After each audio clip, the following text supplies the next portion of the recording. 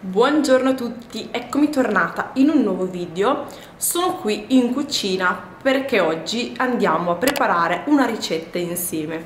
Ieri sera ero al computer su YouTube e eh, tra i video consigliati mi è apparso il video della ricetta dedicata ai pancakes eh, giapponesi che non ho mai provato.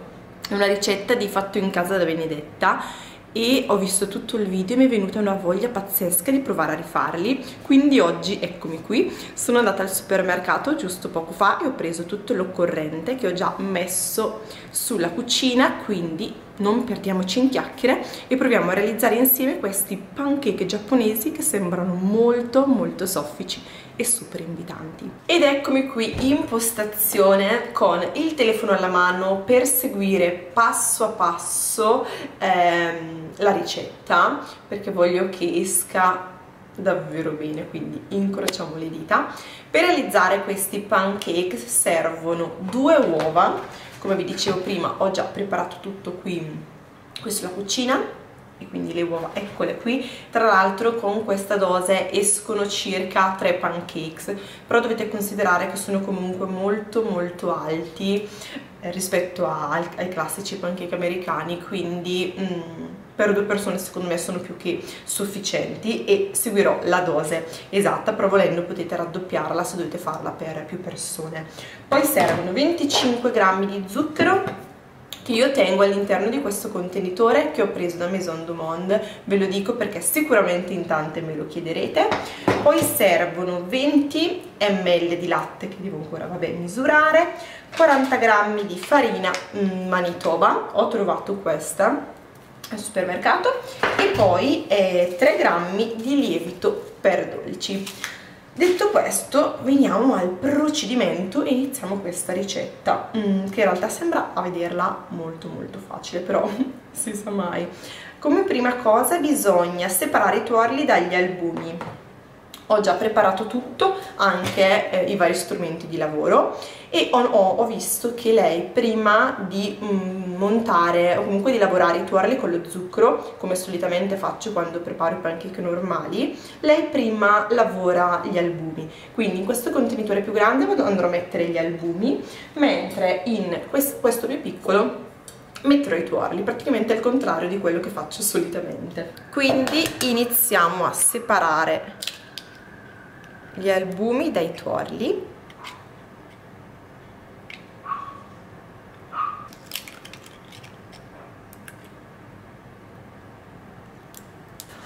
Questo dobbiamo andare a montare nei vecchi albumi aggiungendo un po' alla volta i 25 grammi di zucchero che sono già andata a pesare. Quindi intanto i tuorli li teniamo un attimo da parte armiamoci di fruste e iniziamo a montare a neve gli albumi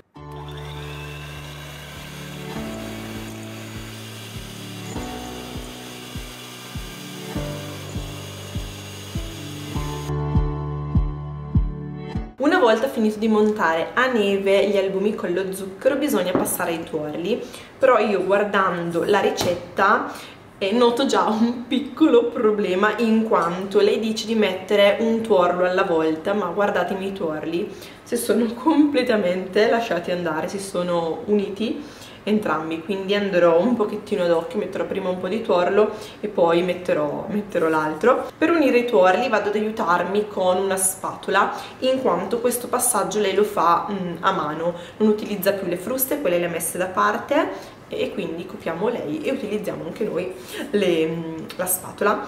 Quindi partiamo unendo un po' di tuorlo direi che così può bastare e andiamo a incorporarlo.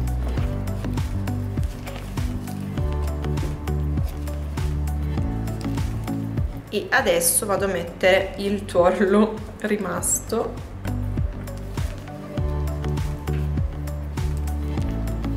Ho notato che si sono fatti un po' di grumi non troppi però qualche d'uno ce n'è fa niente adesso se non ricordo male devo andare ad aggiungere eh, 20 ml di latte e poi eh, la farina e il lievito. Sono già andata a pesare tutti gli ingredienti che mancano ovvero il latte e la farina e il lievito che ho già unito perché comunque vanno setacciati insieme e aggiunti poi al composto. Quindi gli do una veloce mescolatina per amalgamare la farina al lievito. Adesso riprendo il mio impasto che rispetto al suo ho notato che il mio è molto più giallo sarà colpa delle uova sicuramente comunque vado ad aggiungere prima il latte e poi la farina. Comunque non so perché ma non sono convintissima della mm, della buona uscita di questa ricetta perché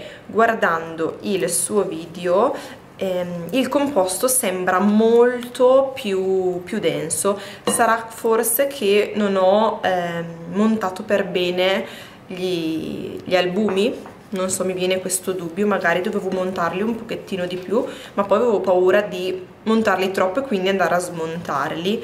Però guardando la sua ricetta boh, mi dà l'impressione che il mio composto sia forse un tantino liquido ma fa niente noi ci proviamo lo stesso. Adesso vado ad unire la farina e il lievito forse anche questa lei la metteva un po' per volta. Io l'ho praticamente già messa tutta e vado a mescolare per incorporare anche la farina. Vediamo che magari con questa si addensa un pochettino l'impasto.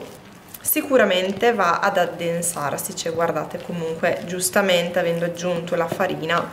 Però noto anche che ci sono un po' di grumi come dicevo prima mannaggia lei non ne aveva neanche uno. Questo è il mio risultato finale del composto. Stavo riguardando le sue immagini e il suo video e ripeto il suo è molto più sembra molto più fluffy e anche più chiaro. Quindi secondo me ho sbagliato fin dal principio dovevo montare un po' di più gli albumi. Comunque basta direi di fermarci qui. Adesso passiamo alla cottura. Ho messo la pentola sul piano vado ad accenderlo. Ho visto che lei ha sporcato un po' la pentola con un po' di burro. E poi con la carta Scottex vado ad assorbire un po' il burro perché giusto deve essere appena appena sporco anche se in realtà di solito io quando faccio i classici pancake lascio la pentola al naturale, non metto né burro né olio, però seguiamo per bene la sua, la sua, ricetta, facciamo scaldare la pentola ancora un attimino anche se sento che è già bella calda. Lei cuoce praticamente tutto il composto in una volta sola utilizzando una pentola più grande, io vado a step, quindi partiamo con un primo pancake. E tra l'altro lei il composto lo vado ad aggiungere con il cucchiaio da gelato, cosa che io non ho, e quindi mi aiuto con un mestolo e vado a mettere il, pan, il, il composto sopra, però il mio si è già eh, lasciato andare, mentre il suo restava molto più, eh, come dire, molto più compatto, quindi mm, non sono molto convinta. Poi una cosa che lei faceva era aggiungere eh, un cucchiaio, un paio di cucchiai di acqua sulla pentola e poi va a mettere il coperchio. Quindi facciamo anche questo e mettiamo un cucchiaio di acqua qui e un cucchiaio, un cucchiaio, un pochettino di acqua anche qui. E poi mettiamo il coperchio e lasciamo cuocere per 5 minuti. Sono passati 5 minuti quindi togliamo il coperchio e andiamo a girare il pancake che sì in realtà sembra molto fluffy però è uscito un tantino più grande rispetto al suo perché il mio si è proprio eh, lasciato andare mentre il suo restava molto più compatto. Comunque aggiungiamo anche stavolta un po' di acqua sulla pentola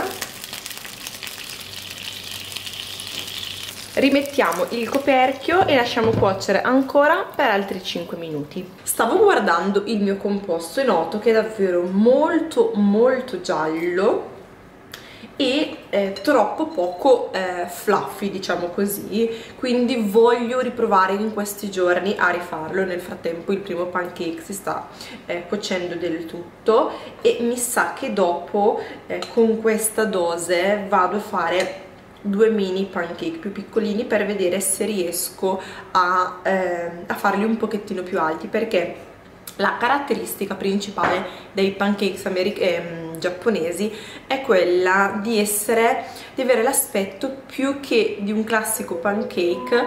Alexa basta! C'era il timer per il pancake quindi lo vado a eh, spegnere. Questo è il mio primo pancake che in realtà ha l'aspetto di un classico pancake forse è un pochettino più soffice rispetto a quando li faccio solitamente li sento, eh, sento che è un attimo più, più soffice però eh, non è come quello di Benedetta assolutamente. Adesso comunque vado a fare gli altri due comunque vi stavo dicendo che eh, la caratteristica principale di questi pancake giapponesi è quella di assomigliare di più a dei soufflé. Quindi sono molto molto alti e belli belli soffici cosa che invece non è il mio. Adesso comunque vado a finire mm, l'impasto realizzando altri, altri due pancake e noi ci vediamo dopo sperando che esca qualcosa di un po' più simile a quelli di Benedetta ovviamente adesso che non sto registrando i tuorli non si sono uniti ma sono rimasti perfettamente separati. Questo è un classico. Questa è la consistenza del secondo impasto. Mi sembra molto più densa rispetto al precedente. Adesso sto scaldando la pentola e poi facciamo la seconda prova speriamo bene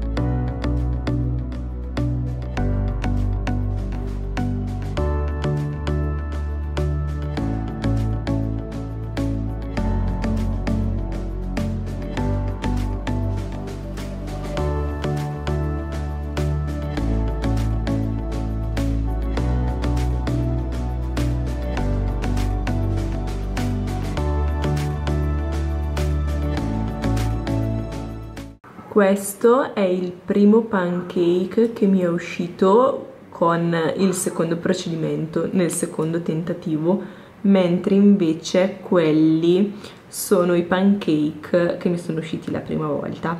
Guardate la differenza.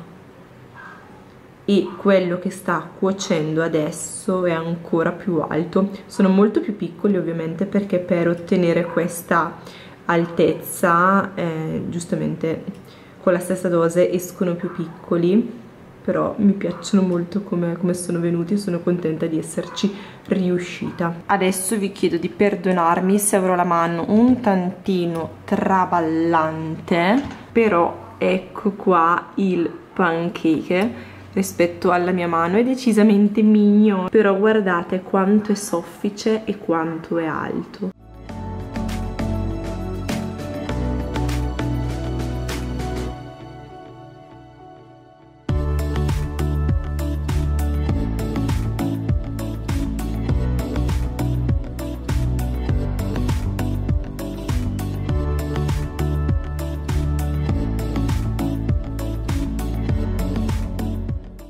questo è il risultato finale. Sono molto soddisfatta specialmente di questo che è quello decisamente uscito meglio se non quasi perfetto. Un po' piccolino ma secondo me questo è dato anche dalla dose. Se raddoppiate la dose potete ottenere dei pancake giapponesi ancora più, più alti e soffici.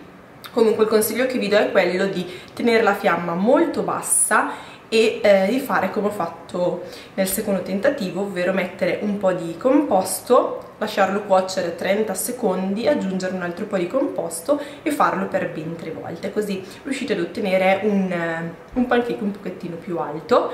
Adesso faccio la prova assaggio, però nel frattempo si sono raffreddati un attimino, quindi li metto giusto 30 secondi nel microonde. Questi invece sono i pancake del primo tentativo, come vedete è un classico pancake americano molto, molto più simile a una frittellina e anche più, più piatto, mentre questo, guardate, è molto ma molto più, più alto e soffice. Essendo appena uscito dal microonde è anche bello bello caldo, vediamo un po' com'è. È davvero buonissimo ed è super super soffice adesso che viene di qua Ste che è appena rientrato da lavoro glielo faccio assaggiare vediamo cosa mi dice comunque il gusto è davvero ottimo, caldo poi secondo me è ancora più buono e con la Nutella vabbè, non ne parliamo. Com'è? Mm-hmm. Buono? A parte che scotta? Comunque, questo è ancora più bello per quanto mi riguarda. È un po' diverso dagli altri o non, vedi, non senti differenza? Dovresti tagliarlo e mettere la Nutella dentro. Sì, però a livello, di, a livello di sapore senti differenza o no? Secondo te? C'è un chilo di burro, giusto? Di burro non c'è? No? Buono allora per non avere il burro. E dopo il momento assaggio che ci voleva proprio, eh, direi di chiudere qui il video. Fatemi sapere qui sotto nei commenti se voi avevate già provato a farli e eh, come vi erano usciti, se vi sono usciti bene fin eh, dal primo tentativo oppure se come me avete dovuto provare a rifarli una seconda volta in caso se mh, mm, li rifate dopo aver visto questo video taggatemi su Instagram insomma mandatemi anche la foto in direct che sono curiosa di vedere i vostri risultati. Mettete un pollice in su se questa tipologia di video vi piace così magari ne farò altre più avanti. Iscrivetevi per non perdervi i prossimi video che caricherò. Un bacione e a presto. Ciao